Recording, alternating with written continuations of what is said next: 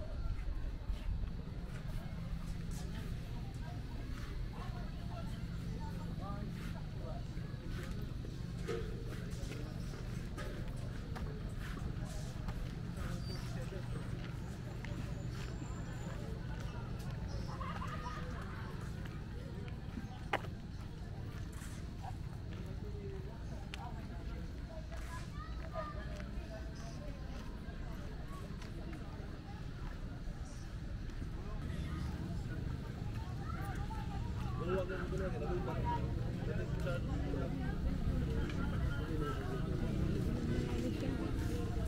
rin po dia papa.